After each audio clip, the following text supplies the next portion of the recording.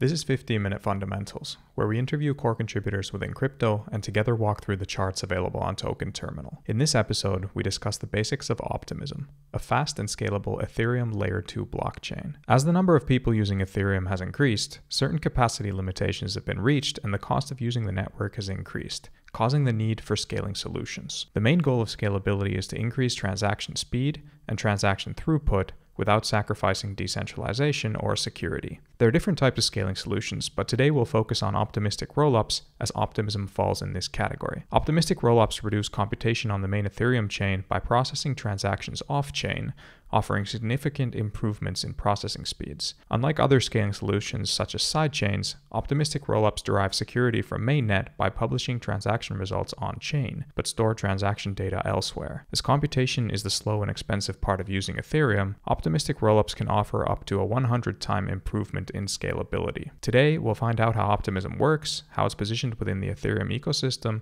the team's current focus areas, and their plans for the future.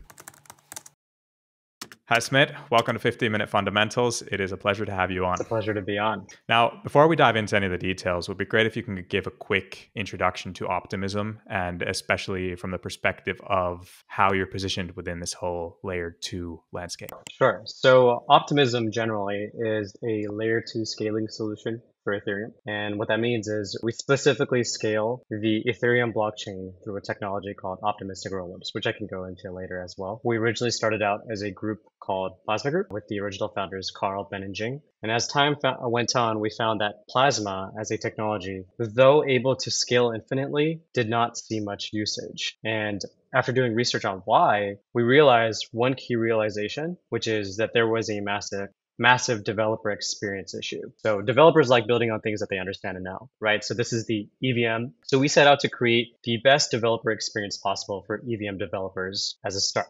And we took it a step further by coining the term EVM equivalence rather than just EVM compatibility because we really wanted to minimize that diff between Ethereum and Optimism. So that's a bit about the technological background. What makes us different, I'd say, is um, we specifically one we inherit the security of ethereum right? So we're a scaling solution that's not trying to cannibalize ethereum. That's the first thing. And uh, the second thing is we really align our mission with this concept of retroactive public goods which um, we're trying to build really really good open software and redefine incentive models for ecosystems and have the incentives align a bit better to create the very, very necessary pieces for ecosystems to succeed. So it could be the bridges to a city, essentially taking the model of creating very, very strong, robust cities and applying that to blockchain. Great overview. Thank you. And then a general question on Ethereum scaling solutions. You mentioned that Optimism is an optimistic rollup. Now, for anyone not familiar with the different types of scaling solutions, can you quickly explain how an optimistic rollup works and what the other types of scaling solutions out there are? Absolutely. So, like I said,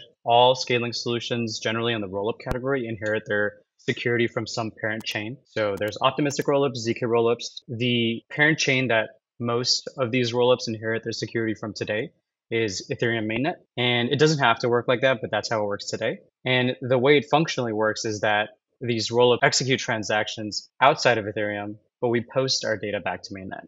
So we want to maintain the state between Ethereum mainnet and the rollup. So that's how rollups work. But there are also other solutions like sidechains that have their own validator set, but they're just like security compromises and decentralization compromises that you have to give up when you try to do something that isn't specifically to uh, maintain state with Ethereum. So yeah, the, the three that I see today are optimistic rollups, ZK rollups, and there are sidechains. So those are three different ways to scale onto different um, ecosystems. Got it. Then on to fundamentals. Would be great if you can describe Optimism's whole economic model, the different stakeholders involved, their roles, how fees are paid and earned within your whole ecosystem. Absolutely. So I think I mentioned the concept of retroactive public goods. So our economic model is largely based on this idea today, and it's based on three other large properties that feed into retroactive public goods. So those three properties are generally value will accrue to token holders through revenues being directed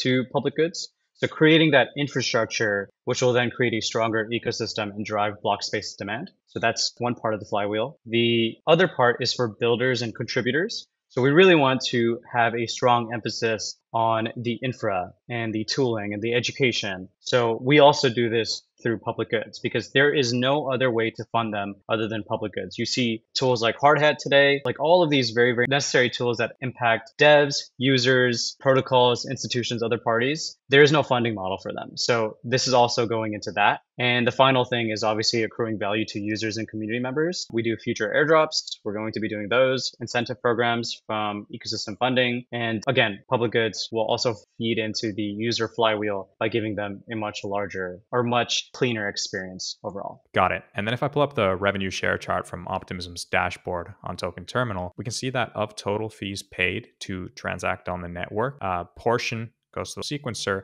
and the rest goes to post transaction data onto the Ethereum mainnet. Can you just break this down for us? So how the fees paid by users flow in a bit more detail? Yeah, that, that's that's a good question. So currently, the way that Optimism operates is fees that are generated by the sequencer go into feeding towards retroactive public goods, right? So we don't keep any of the money that we generate. Uh, we actually put it back into public goods. So we'll do these retro PGF rounds to fund further ecosystem goods that'll further grow the economy. And then for L1, we spend a certain amount of money, obviously, to uh, maintain state. And this is probably the largest cost that we have today to maintain the state L1 batching. And we have other technological initiatives on our roadmap to make sure that we can lower this cost over time. So we have 4844 that we're working with the EF on and Coinbase on to lower fees significantly. And hopefully, just in general, batching will just become much, much cheaper over time to maintain state. But yeah, as of now, as gas spikes on L1, the L1 batching also spikes. So it is a big portion of our fees today. And what would you say are the current main growth drivers for Optimism? As a member of the business development team, the main growth drivers currently are we want to grow a strong developer community.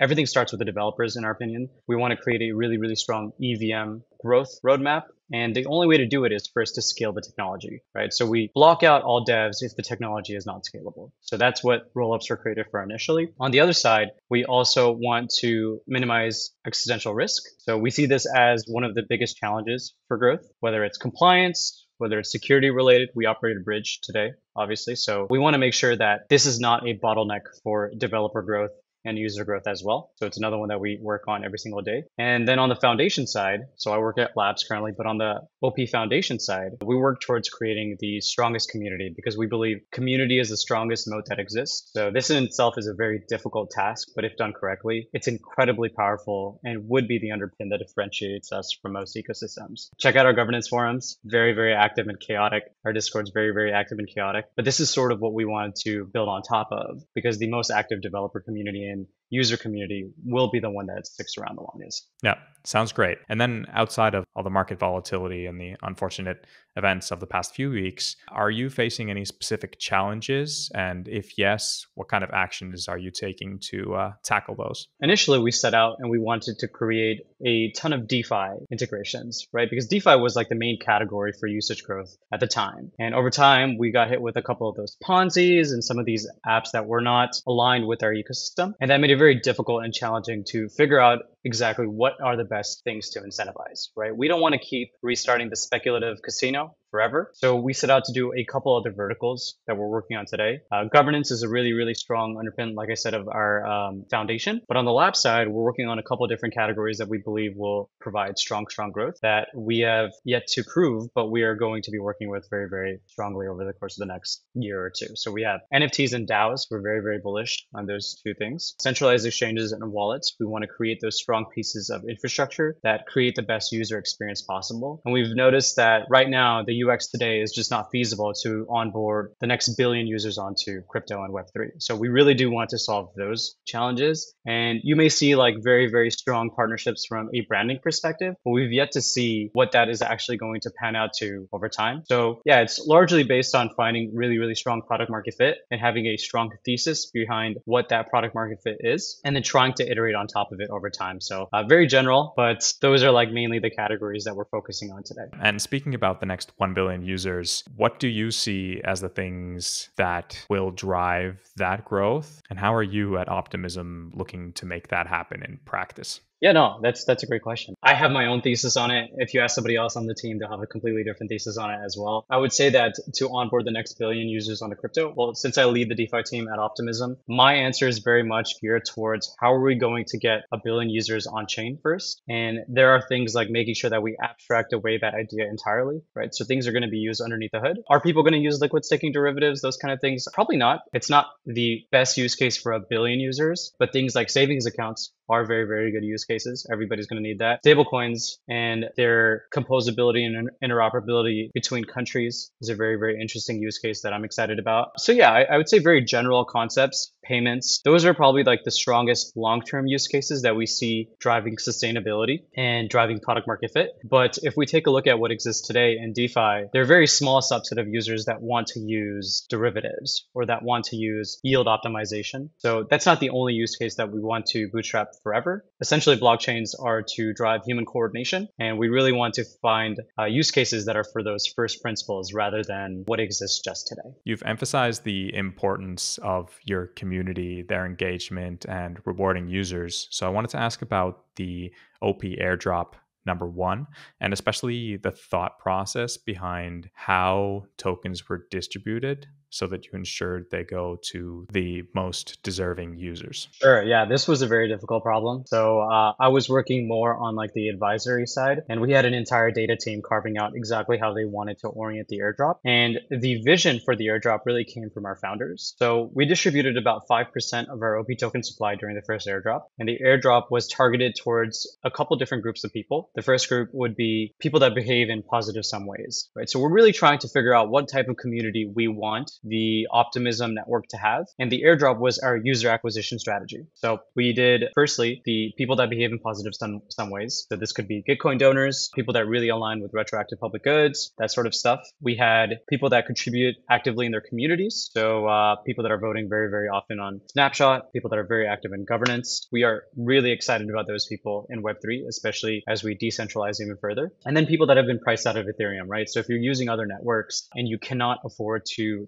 transact on Ethereum, we're excited to see what types of use cases come out of scale, the types of users that are really using blockchains once they do scale. So those are really like the three big categories. We were able to target about 250,000 addresses for the airdrop. So we wanted a really wide distribution so that we could try to encompass as many members of the community as possible. Makes sense. And the current role of the OP token is purely governance, right? It's plain and simple like that. The OP token is the governance token for the Optimism Collective. It will be used to govern the protocol for the years to come, especially as we further decentralize. Yeah. And then we've been speaking a lot about growth, but just one more. And this one should be a walk in the park for you as part of the BD team. What kind of role do partnerships play for Optimism? Partnerships are a very, very important thing. The amount of people that are building in Web3 today is a limited amount. So every partnership counts for sure. So as a member of the BD team, it's incredibly important to create strong partnerships that can grow over time. We like to work with teams that are working towards building sustainable protocols. They're very, very strong visionaries. We like to work really, really closely with teams that have just started as well to